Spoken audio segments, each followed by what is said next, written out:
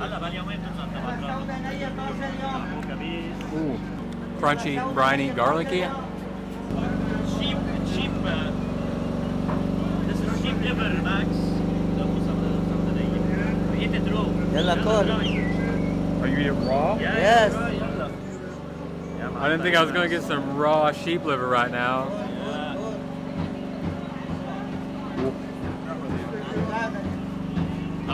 هو انا كان بنية حبة كتير هيدي بتجنن It's clean. You can't taste that. He wants me to keep going. We'll keep going. اهلا وسهلا فيك كلهم يعلق يلا شكرا all حبيبي. for you All for me, all four pieces. Okay. باكل بس There we go. قلت انا بعدين عم باكل معه Oh صارت my god, we معدة gotta get all four here. عاش فيها النمبر ايه فيها Okay. I think I'm good.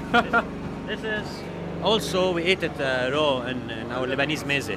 We call it the cheap lamb, uh, cheap liver. ألف سوداء وقلوب طازة عندي يا ماما طازة أهلا وسهلا فيك so much raw liver. مرحبا Habibi. What's all that? Max.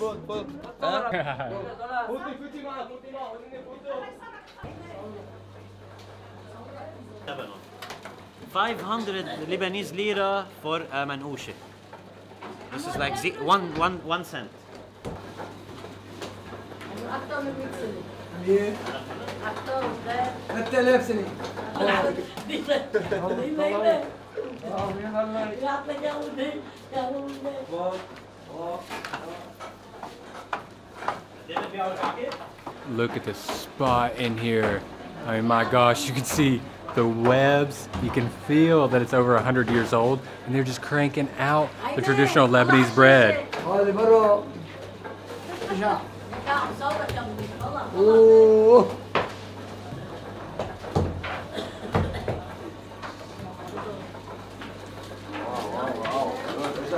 how this works. Dough proofing, rolling in the balls out to this man. He's gonna flatten them after they proof just a little bit longer, flatten them completely, and then he's gonna hit him in the sesame seed onto the wooden little, not two by four, but little plate of wood, and then into the oven and out for sale. But it's actually kind of suffocating when you come in here because the flour is just wafting everywhere. You can't really breathe that well. They wouldn't let us leave with that one. I feel terrible. We had to throw a tip in there. They didn't want us to pay. So many people need this. I'm the last person that needs this bread. There's a lot more people in there that need it than me, but that was third degree burn. And pretty darn good, especially for the price.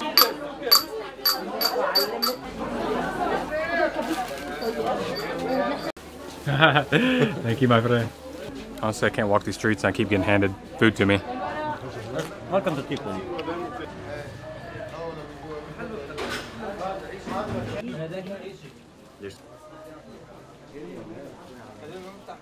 Anyways, we didn't get to finish. So the good news is we took one bread, but we made sure to pay for many people's breads. You know, if people are going to give you good things, take that good energy, those vibes, push them forward. It's the only way to live life.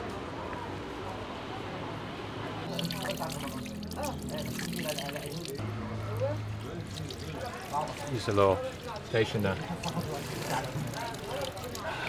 clean up a little bit, give a little some drink. Yeah.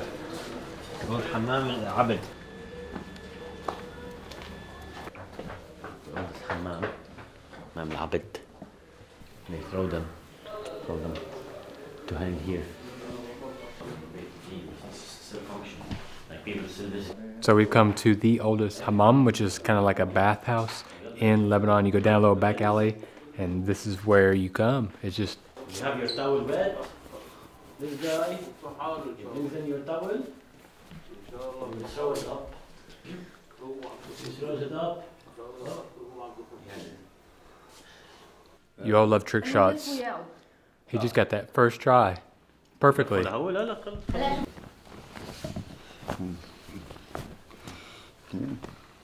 yeah, take those off. Thank you. Ah. yeah.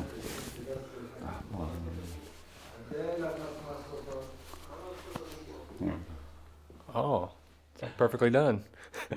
I can't do that even after a shower. Hey, shukran looking at, so this is like after you get the bath, this is what you'd be like. You'd sit here, you'd smoke shisha, you'd drink some tea. Ooh! ah, good shot. He's two for two. Yeah.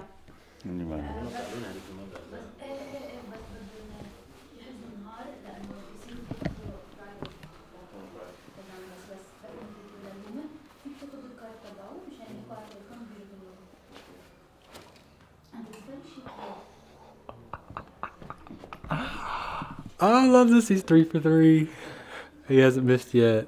Listen, the middle room. Well, you relax a bit after coming from the hot room, so you don't feel sick. You're very relaxing because when you look up, it almost looks like you're looking into the nighttime stars because it's dark, but it's got the little rays of lights and the little glass colored coverings.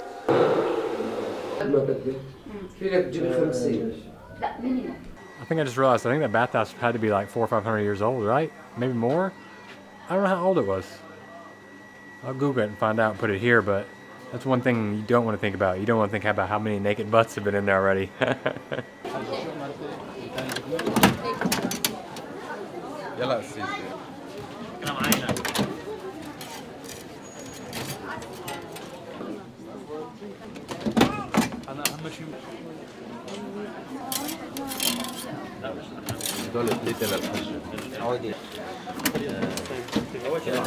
so say when you come to Tripoli, one thing you have to have is the kake. Now we've eaten kake already. We saw it kind of looks like a handbag. This is just a typical circular shape. They put a little cheese in there. You can get olives, green pepper, and tomato as well. And it's famous here for putting it over some charcoal. And that's gas, so.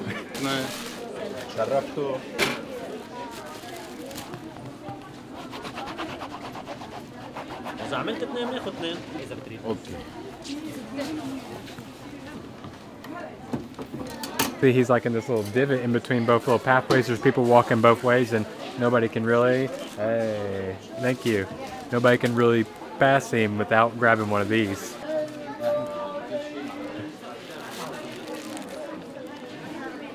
The one we ate on the way to Sidon, almost if you're like from Turkey, you took the simit and you took the crust from it. It just had that nice air pocket. It's just like the crunchy outside crust. This one's a little more doughy. It's got a little bit of inside to it. It's not quite as thin. I like that he does heat it up a little bit. Everything on the inside gets warm. That cheese crumbles like a feta. It's got a saltiness to it. Can't go wrong with these ingredients. And clearly the place to be. I mean, you got people lining up both ways. You got just him and his son working, trying to crank out these sandwiches as fast as they can. اليوم بونجيت سحق 10000 لانه بضاعة هلا كلها هلا قنيني ب 10 الصغيرة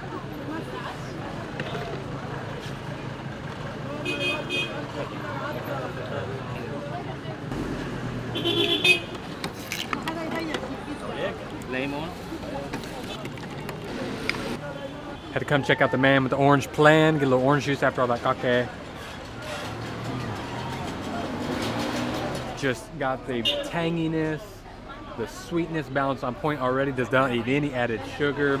Got all the pulp and all that texture with it.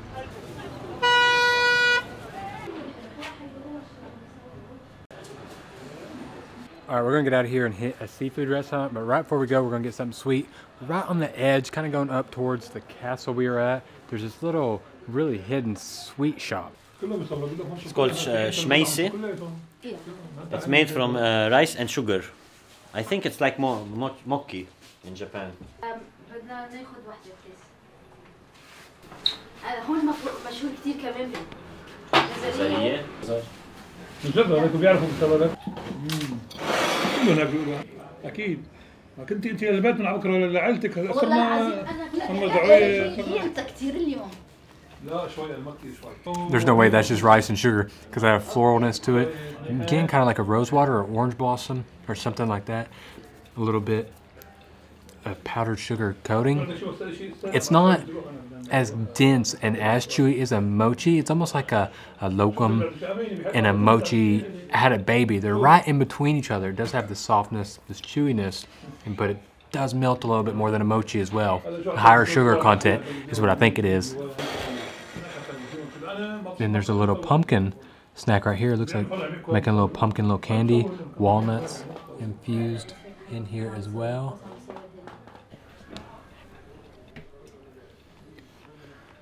Ooh. I was not expecting that at all. That pumpkin one has nice little warming spice notes in there, like a cinnamon and a clove, but really it's the texture it got me. It melts in your mouth like fudge.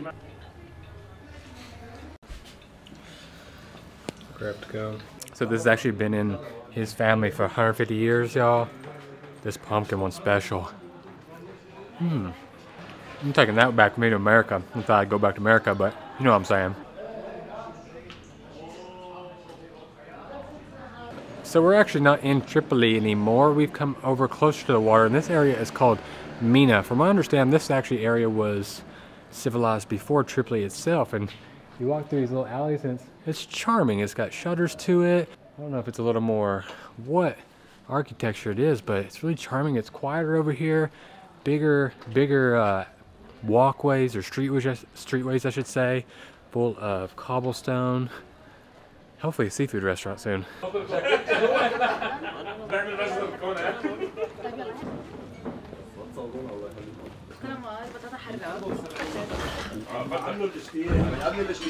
What a hidden gem. Only 12 chairs.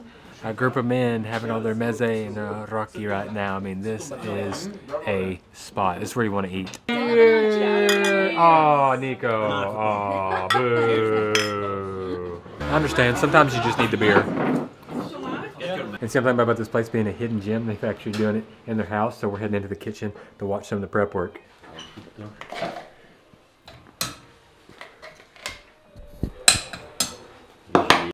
That's uh, هذا شو بهار عادي؟ كزبرة uh, كوريندر كوريندر حال chili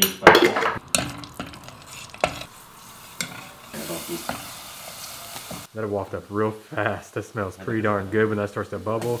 And then she's gonna dump that calamari in there after this toasts just a little bit and releases the fragrances a little bit more.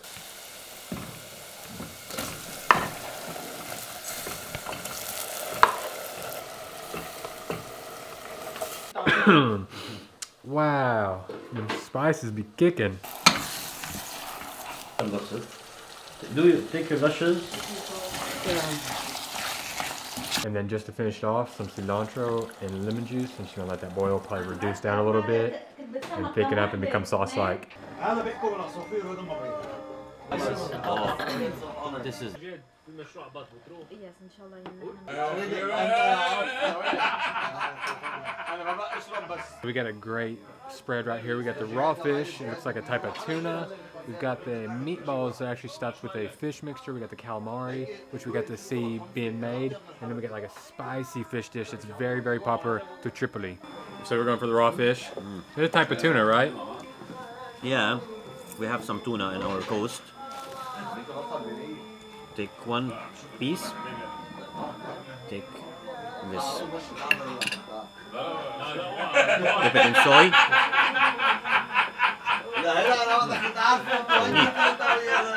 Soft, delicate tuna, a mild flavor. That's why they've got it in the olive oil to help enhance that flavor. And then the chunk of raw garlic is so clutch for me. This might be how I have to eat raw fish from now on with a big old chunk of raw garlic. Kibbeh, but replacing meat with fish and burghul and fry it. Mm.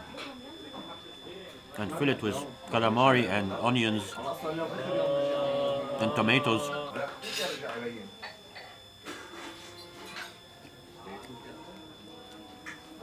Wow. Okay, so we got that calamari we watched cooked earlier.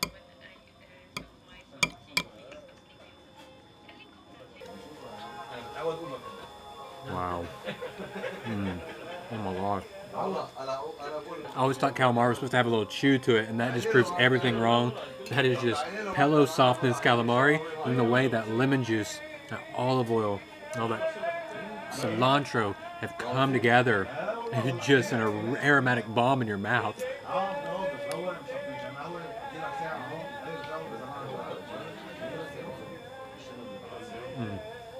That is the softest calamari I've ever eaten.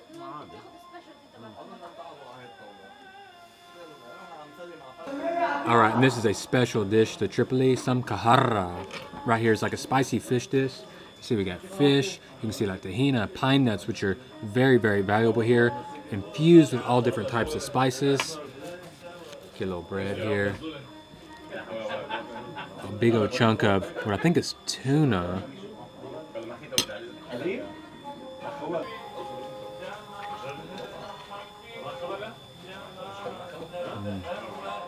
That one is a slow developing flavor and textural dish where that calamari comes out the gates, slaps you in the face. This one you continue to chew and chew. You work through this soft, white, flaky fish. Then you get the rich nuttiness from the tahina. You'll get the spices to start to tingle your taste buds. And then finishes with those pine nuts.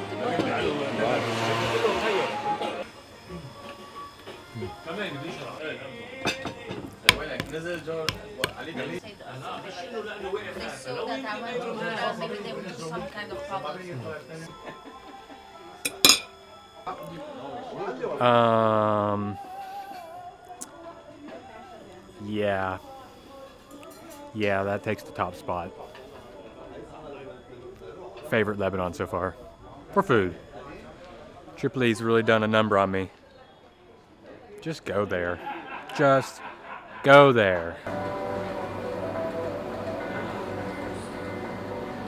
And gotta finish off this video with a little more drink. We were literally just like one, two, three, like four stalls down. It's kind of like this little hidden bar. It used to be a laundromat and it burned down and they kind of renovated it into a bar. It's got nice vibes to it.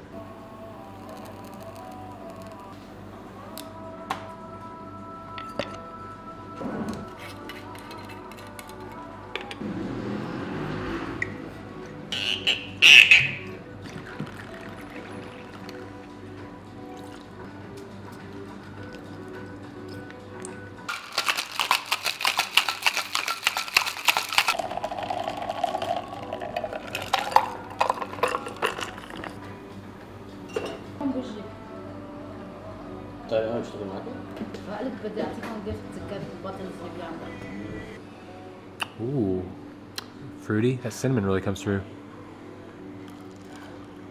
It's good. I don't even like whiskey, but I would drink that.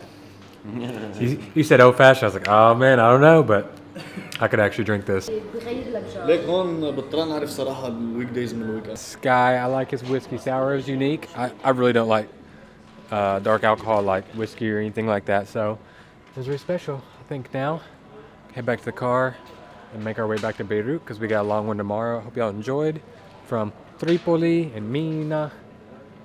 Man, I'm still dreaming about that seafood. I hope y'all really did enjoy it. I don't know where you're gonna find a food blog eat raw liver, the best sweets in all of the country. You go into like crazy bars that turn from laundromats to that. You're just not gonna find a channel that covers all that and does it better than here.